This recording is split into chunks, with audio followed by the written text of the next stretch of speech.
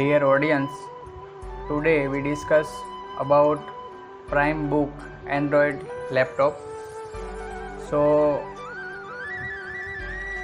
this is Primebook Android laptop with uh, 4 GB RAM and uh, 64 GB internal storage. So this uh, laptop come with 11.6 inch display uh, display quality like uh, this.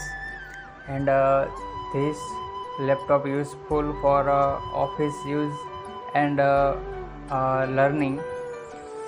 And uh, uh, Piyush Bansal sir and uh, Aman Gupta sir uh, both are uh, invested in this company uh, Primebook so uh, at uh, 12000 uh, rupees uh, price of this laptop.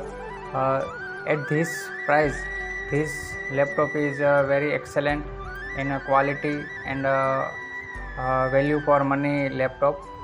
So in this budget uh, this laptop is uh, very excellent and uh, all features uh, given in this uh, laptop is very excellent and uh, we can use uh, for uh, multi-functioning like uh, android phone and also we use ms excel word powerpoint.